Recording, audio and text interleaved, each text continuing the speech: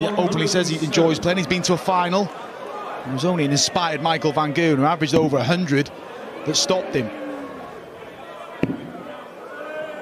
A couple of times Gilding's had a look at the 170 and got nowhere near it, but this time it was to hold throw. Gary Anderson to get, take a grip on the opening set. And for double 10. 30. And you record 130. Anderson not settled yet. You feel he'll return here. Gilding had a start at 112 in the opening round, uh, opening round, opening leg. He's not going to get a go at 136. So Anderson looking at a two-leg lead. 96. Gary record 120.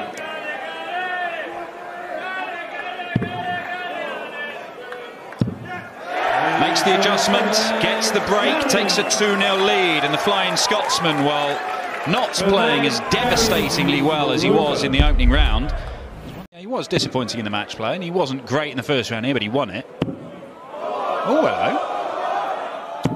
Ah, the Digit of Doom makes his first appearance this evening. Thumbs up for Andrew Gilding. To the 18s for Anderson. And he misses the big number, and Andrew Gilding's 180 might make the difference in this leg and indeed in this set. 161. A timely 180 from Andrew Gilding. Options here now. 25 possibly or treble 15.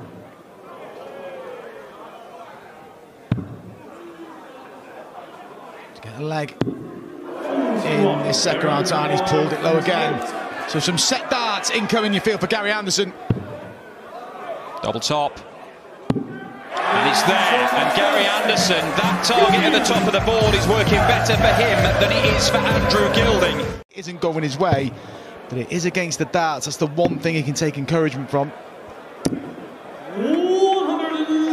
Yeah, and it wouldn't be a complete rarity for Gilding to beat a world champion on a big TV stage. Obviously, he did it in round one against Rob Cross, but did it to MVG in that final of the UK Open. He'd done it to Clarkson, a BDO champ, and Glen Durrant at the Slam, of course. Gave him a little hug afterwards that Glen wasn't particularly pleased with. A little hug.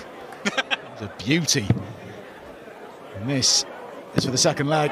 Brilliant from Gary. In full flow, comfortably levels up the second set. To produce anything big in this leg, and Andrew Gilding might just have a golden opportunity to level this match at one apiece, despite being second best for so much of it. Brilliant stuff from Goldfinger. This set, if he can round off with it, get rid of this 100, has just been a professional set from Andrew Gilding. Taking care of things on his own throw. And he had it. He pulled it down into a one, and you feared for him in his second visit. But this is to wrap up the second set. One set that come and gone. Two have come and gone, but it's a big ask for Anderson still. He's been kept at arm's reach by Gilding in this set. And he will not get a dart to win it. Gilding will get more attempts.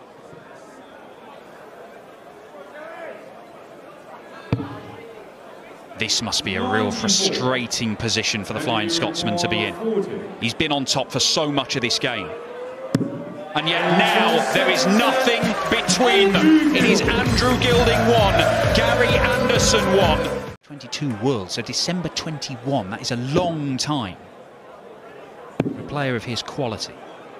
Yeah, The anniversary of that comes up in a few months. So the positive you take is that he's got a bit of sort of an 18 month window there to sort of plan his attack back into the top 16, the top 10 in the world, Gary Anderson. 60. Gary record 20. Double 10 then. Here's your first leg. Not even a thought of a celebration from Gary Anderson there. Anderson has now won six legs in this match, Dan, and they haven't really been competitive, the legs he's won, has he? And taking control of Yes, I say that. Gilding fires in a second match. I was just about to say he's taking control of the set, but Gilding will get a look at 101. The setup not brilliant from Anderson. And you record 101. One of these combo finishes is going to go at some point, surely. is it right now? Double 12. Third time he's done it. Missed the double, and Gary Anderson to take a 2-1 set lead. Staying on the 18s. That leaves the ball. And that does the job. Anderson does restore the set advantage.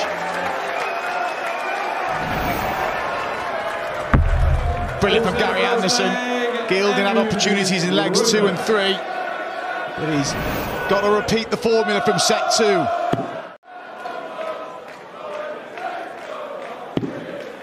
Double 12. Pinned it for the opening leg. He's going to need double six here. And that was wayward. He pulled that, Andrew. Just in, inviting a bit of pressure here. He could have given himself a little cushion in this set. And Anderson slammed the door shut in his leg. He can't. He threw that third that quite quickly. Pulled it low. More opportunities for Gilding.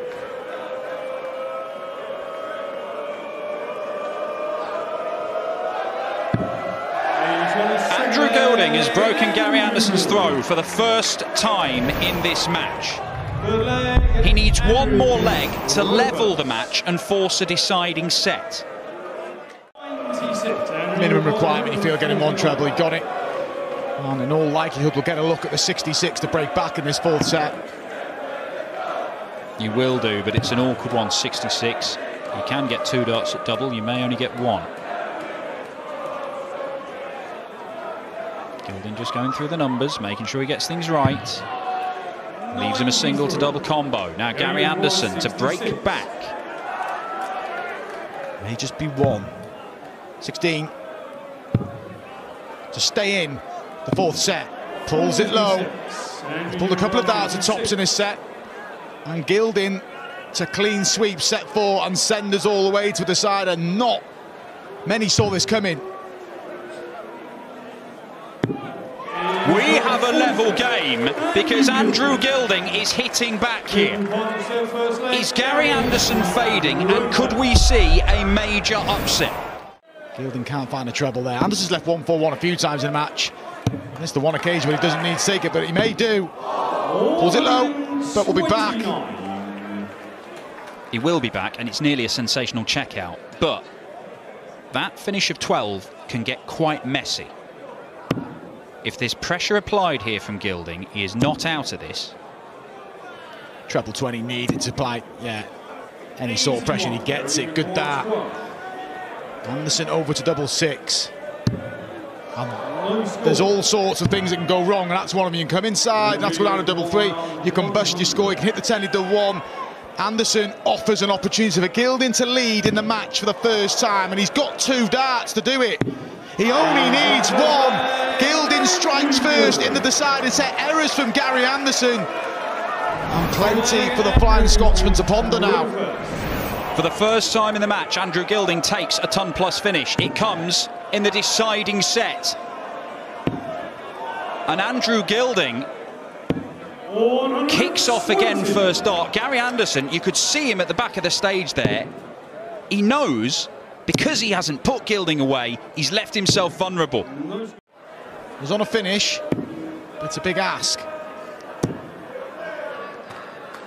A brilliant setup from Gary Anderson. The score of 134 leaves 32. Andrew Gilding needs 134.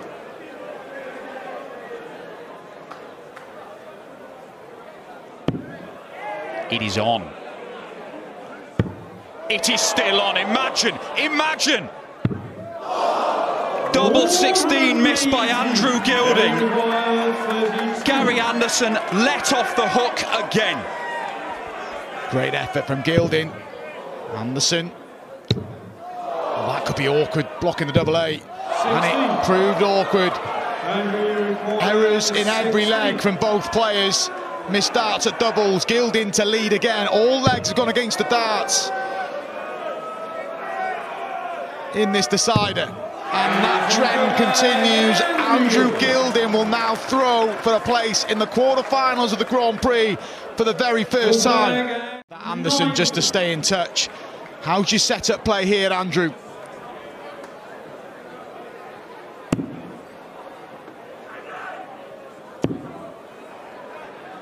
He's going to be on something makeable.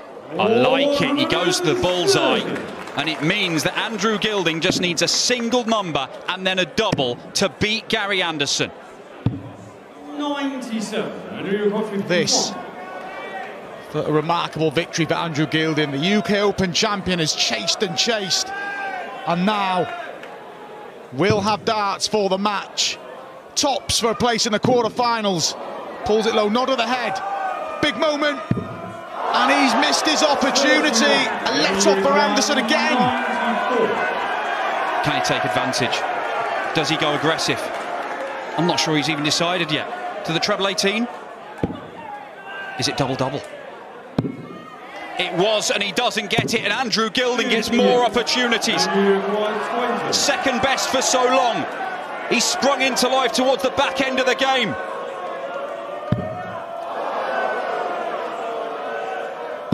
It It is golden from Goldfinger. Gary Anderson is beaten, and Andrew Gilding is a World Grand Prix quarter finalist. Or his walk on, to me, he just strikes me as someone uh, on a mission. He looks he looks focused and ready to play. And look at these darts. As I say that,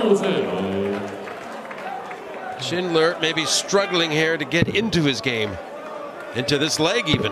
Nervy, edgy start from the German. Bunting and Love, Steve Ringwald, 138. a whitewash in the opening leg. 138. Oh, beautifully done, Stephen Bunting. Fantastic 138. Oh, a right smile from Schindler.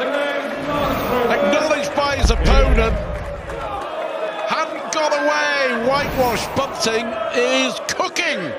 57 average, plays 105 average, but as you say, John, in this tournament, the World Grand Prix especially, averages really don't matter.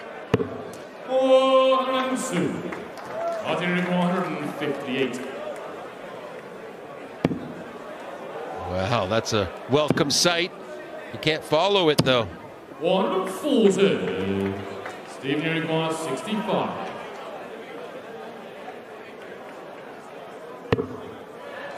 Ruthless. And on the first Very ruthless. What a set from Stephen Bunting. He will want to get a break of throw right away, especially with that open. You don't want to squander a good open like that. You don't want to squander a nine dart attempt either.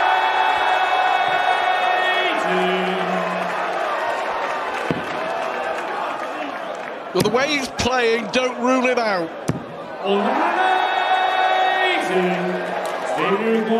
Here we go. Well, misses the seventh. 89. Uh, superb leg, though. He will come back for 72, and this is against the throw. Schindler must be just wondering what on earth is going on here. I, I, I'm actually throwing pretty decent now, and I'm still not even in the leg I started.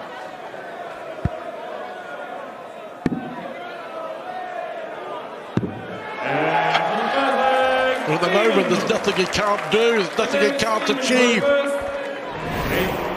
11 dart leg, and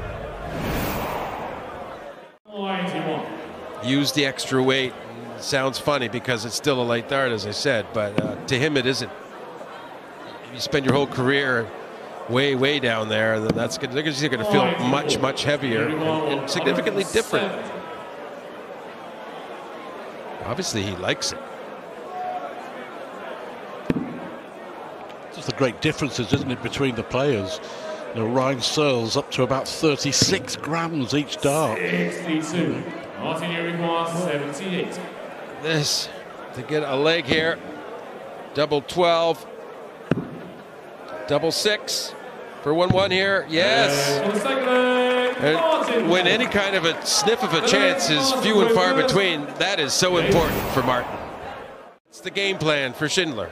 And that's the game. That's the World Grand Prix encapsulated in in just two sets. Schindler here averaging 95. Bunting averaged around 105 in winning the opening set. It's more the doubles than the actual numbers. Schindler's been starting well and finishing well, and Bunting hasn't been starting well at all. For the set, then. That's a great comeback from Martin Schindler, isn't it? Schindler on debut at the Grand Prix last year with only one leg, one solitary leg in the opening round, and he was well beaten by Gerwyn Price. 139. Stephen Urich 137. Good thinking from the German.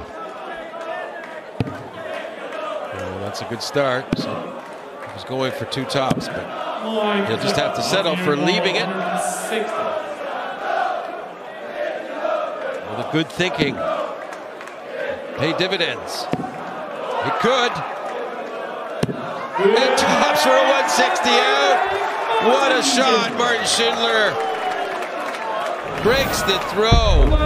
Stephen Bunting sitting on tops. Has to watch 160 finish from the German, and look at that celebration. He knows what it means. He now has the throw, but the ever so important in attempt.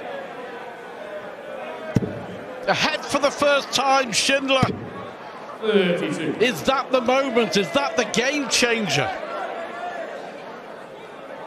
just feels so much better inside when your opponent's sitting on a double. you know, you, you get your value. It's really get your value for it then.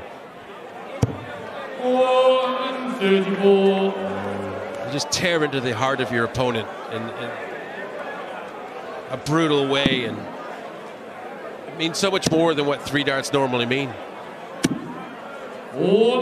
May not be enough for Bunting. 87. This for a two sets to one lead. Just too good at the moment, isn't he?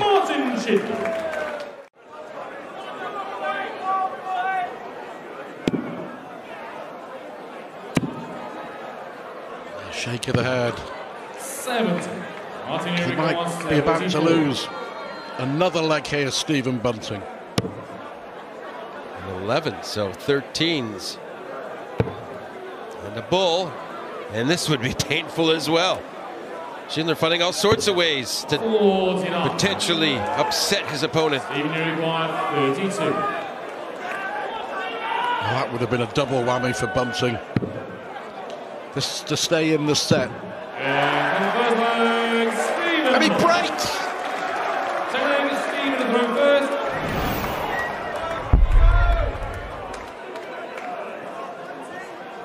Great. Alarm bells are ringing for Bunting. There's no doubt about it. He has to s- hope that Schindler doesn't get a crack at bull here or double five.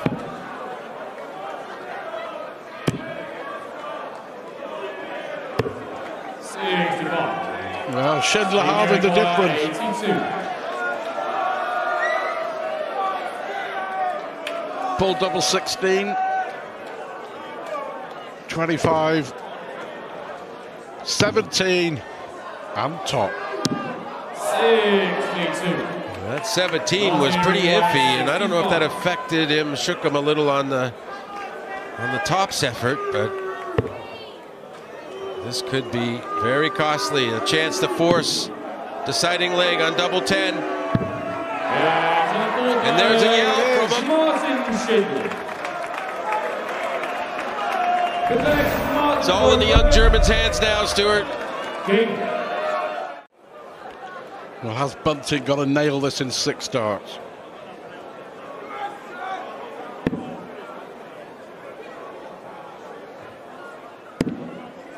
You know, even considering that Schindler doesn't take out 147, but he's given himself every chance. Brilliant 140 from Bunting. Schindler here for the mat.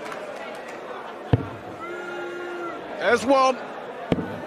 Well, he needed treble 18 for double 18, and this affords Bunting a chance to save himself. Stephen Urich by Must hit. 70. Now or never for Bunting. He ain't going to be rushed.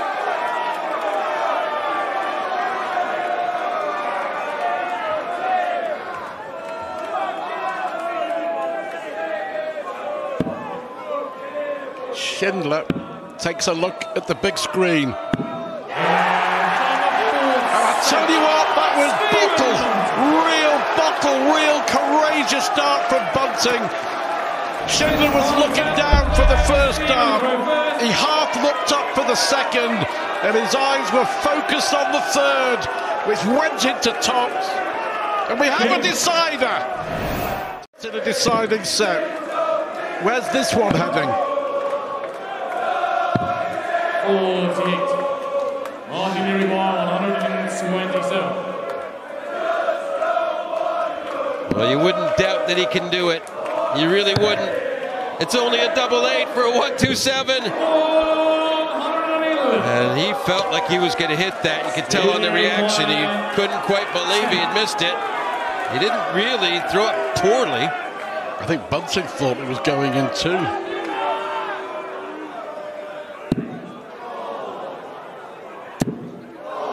He's had big time bottle. Can't squeeze it into the left there. Martin Uruguay 16. There was a few times early in the match where Schindler negotiated a double eight to kind of settle things down for himself. So the first leg. This time he uses it to, you know, to put the pressure on.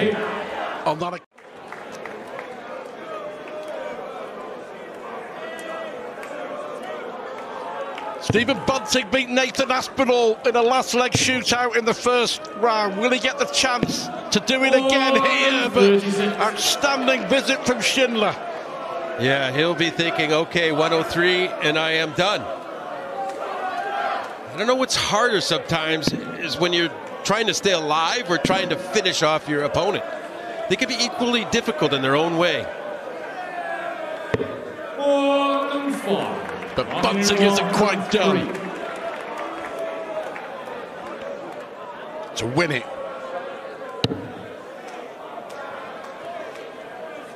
Treble 20. And he has a match dart.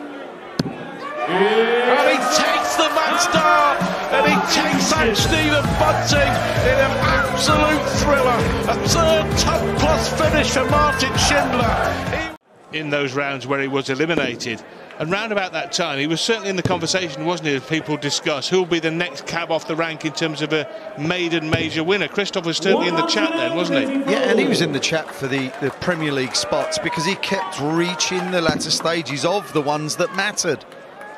Unfortunately for him, just couldn't quite do that little bit extra that's needed.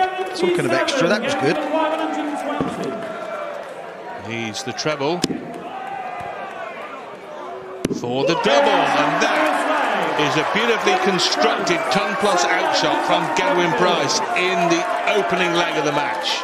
His win over James Wade was extraordinary, really. It was a, a match that you would have to say in terms of quality was mediocre, and Wade looked to have it won, but Ratajski ultimately won the last three legs of the final set when Wade just simply couldn't buy a starting double.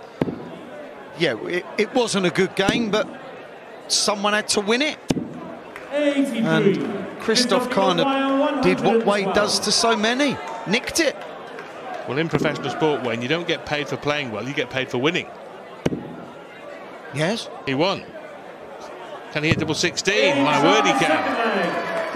Gerwyn Price with the ton plus opening salvo in the opening leg, and Krzysztof And now Price in firm control of this set. 105.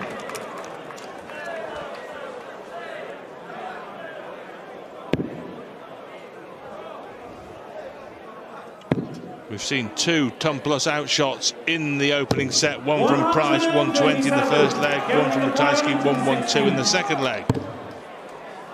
Single to leave his favourite double at the top of the shop. And Gerwyn Price cashes in on another big finish to take the opening set.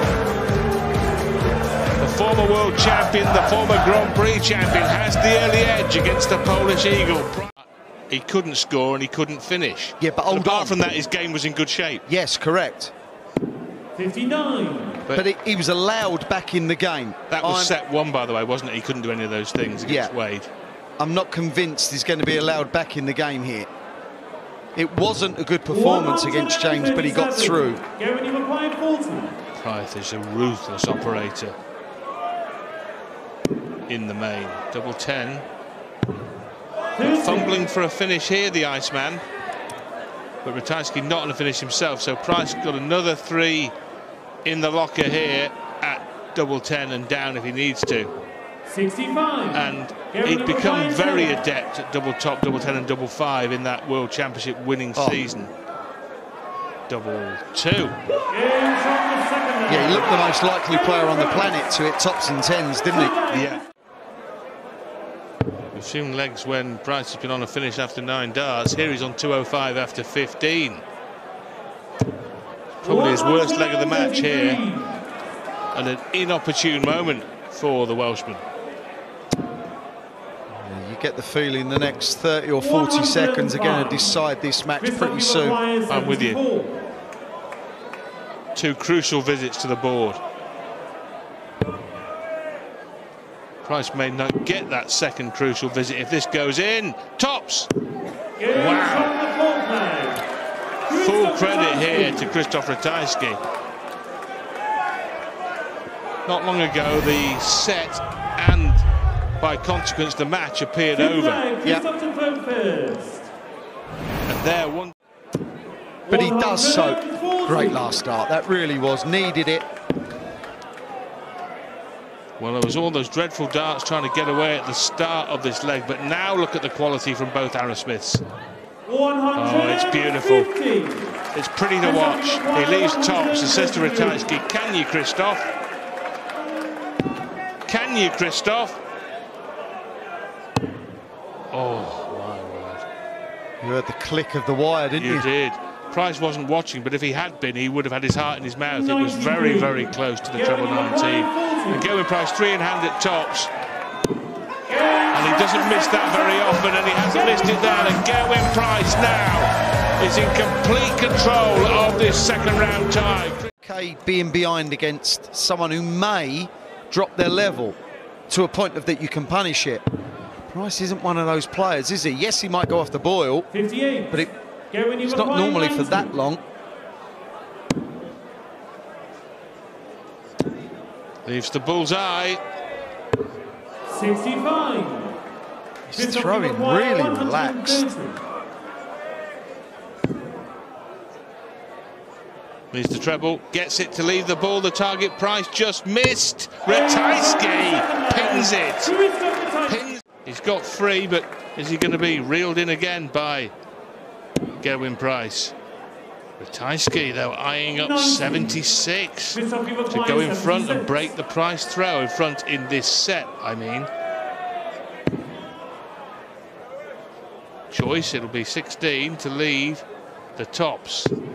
Oh, my word. So close. It's interesting he went for the 48 though. He did.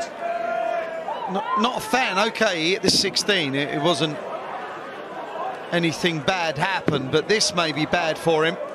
Double 18. These champions, they get a sniff. He hasn't set it up either. The last four darts from Krzysztof been a real debacle from him. 50. Krzysztof, you require 110. To get him, sorry, to get himself out of trouble here, to win the set, to keep the match going, to stay in the Grand Prix. 74. Gerwyn Price, two darts away from the quarter-finals again. Third straight year here at the Morningside in Leicester. One dart away, double top away, two in hand.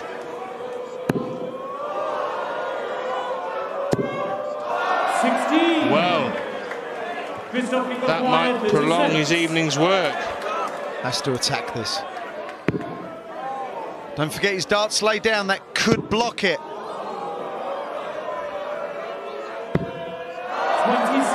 Well, you saw immediately after the dart hit the nine how far forward he was. Lunged at it. Well, Rataj's got a chance to detain Price on stage for at least another set, but it's all over now. You look at the scoreline, it looks like it was ice and easy for the Welshman, but it wasn't that because every set went to a fifth and deciding leg. But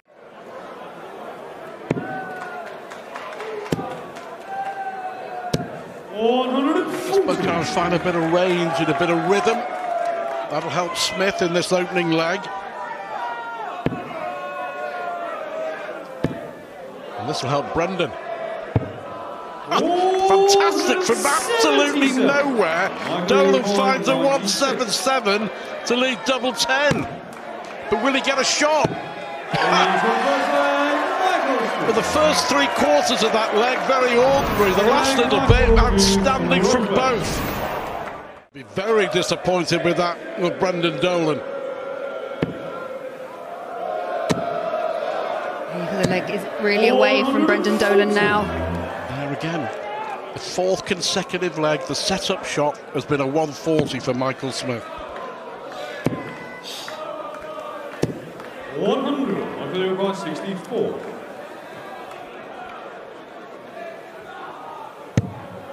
Double eight.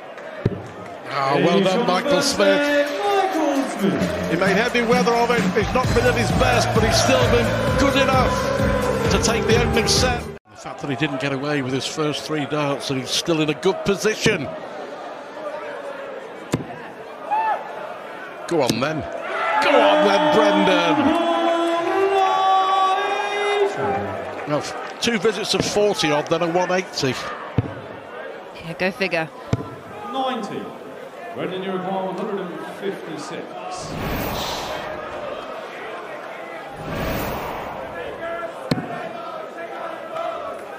Already taken out four really good clutch finishes, Michael Smith. Michael, you require 96. 96 both. And he's done it again. He took it out to win the first leg, and crucially, he's taken out again here. And I'll tell you what, after failing to get away with his first three darts, that's a big, big leg to win.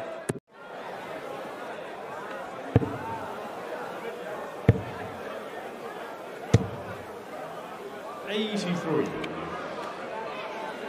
To lead double 12 for a two set lead.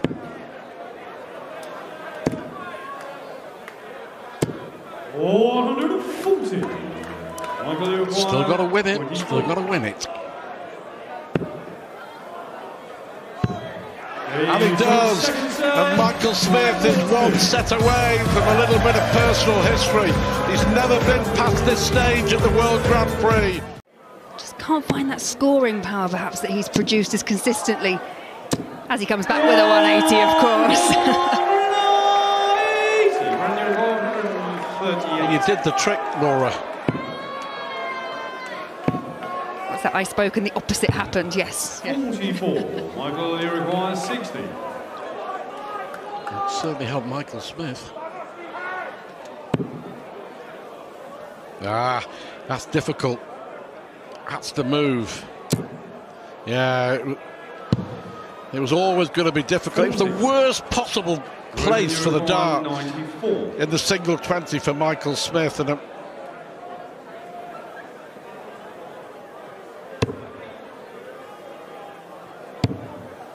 Oh, he got it. Double six. 82. Good effort from Dolan. Michael, require 20. May not be enough.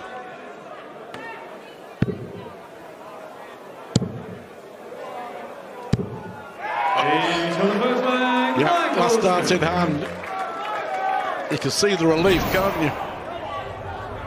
Good dart in the end because that's all of the bed that he could see. It was a really good camera Michael angle. to throw first. And that's a really good camera shot of a disappointed Brendan Dolan, and so he should be.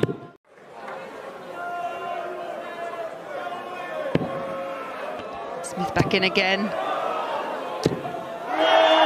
Back to back 180s for Michael Smith.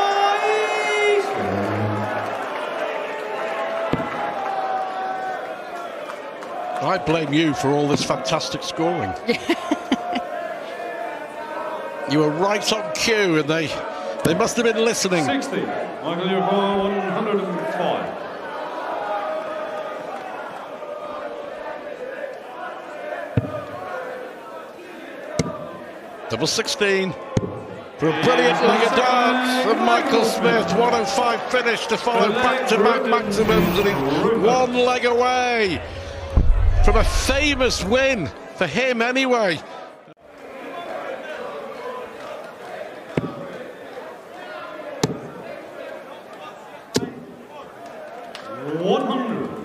He took out 105 to win the last leg. And he's left himself 105 for the match this time. 47. I'm going to dial 105. Double 16 again. And Michael Smith makes a little bit of personal history. It's taken him 12 years. But Michael Smith has finally won through to the quarterfinals of the World Grand Prix.